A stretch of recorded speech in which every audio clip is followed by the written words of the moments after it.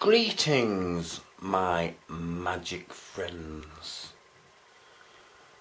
Welcome to Dave the Donkey's channel.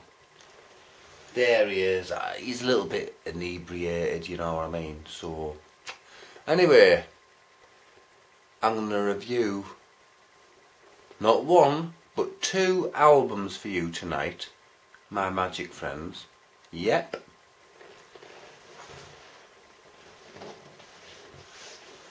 Both of them released in 1978. However, I am not entirely sure which was the debut. Hmm, one of them was, but I don't know which. well, obscure alternatives. Jam Japan, right? Brilliant bloody album. I think that's the second one actually. Yep, it is. Hmm. And it's got like a little bonus disc, a live one kind of thing with it. And then you've got Adolescent Sex.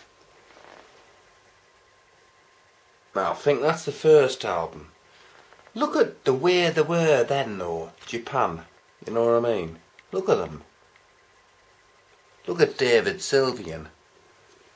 Sadly, Mick Karn, the fretless bassist, died. Mm. Not that long back, in fact. Brilliant bassist he was. He had a, a solo project. He, he's even been on one or two Gary Numan albums. The man was very talented. But he's gone. But these two albums, right? Absolutely fantastic. Brilliant. Check them out. Check these bloody albums out because they're brilliant. I mean, you know, the first two out, I think they only made five studio albums in the career between 78 83 then they split up. Um, first two ones. Then the third one it was about 1980 it was like um, oh everyone's they're either doing new wave of British heavy metal they're either doing new romantic or they're either doing bloody ska kind of music so the, I think they opted for New Romantic. And they pulled it off really well as well. I mean, everyone thinks, um, oh, David Sylvian, oh, he's ripping bloody Bryan Ferry, Ferry off. And ev everyone says Bryan Ferry's ripping David Bowie off.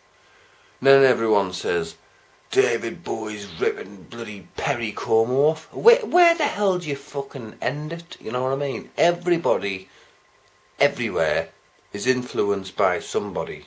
I mean, it stands to reason. You can't not be.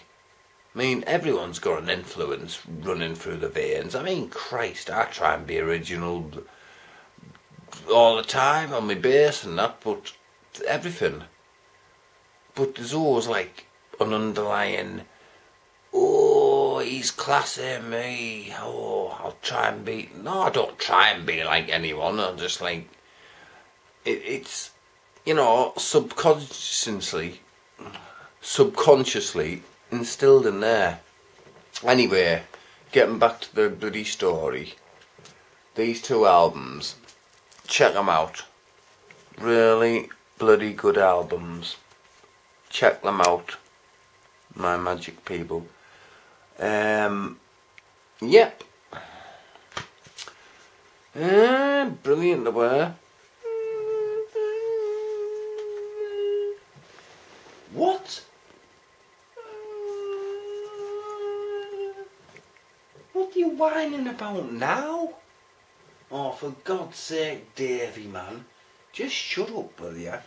You just spoiled the whole thing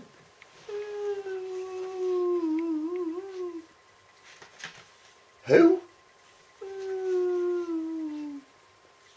Oh, Pete Waterman.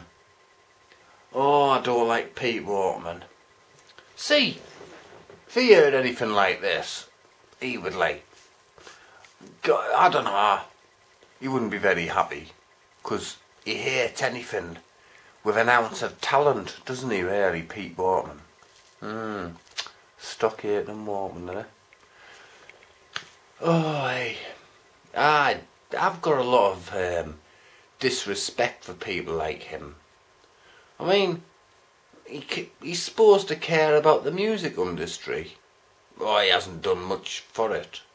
Over the last 45 years, he's supposedly been involved in it.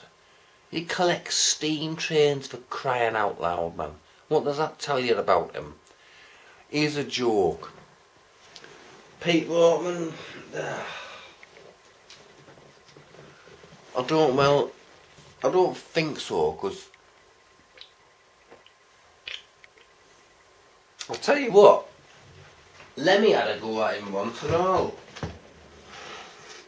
Because he wanted to, um. Well.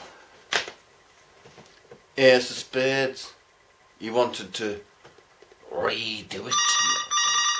What the fuck?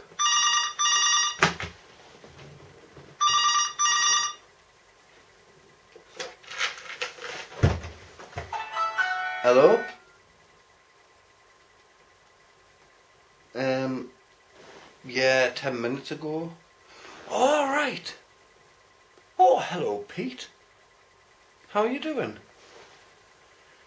Um, yeah.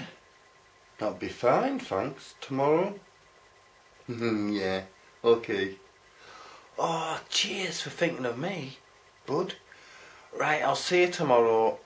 Crack it on, right? See you later, mate. Cheers, bro. Hmm. right. Ciao.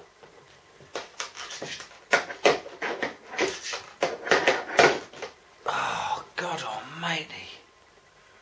That was Pete Waterman, you know. He wants me to um, be part of his next record label. Um, oh my god. See you later.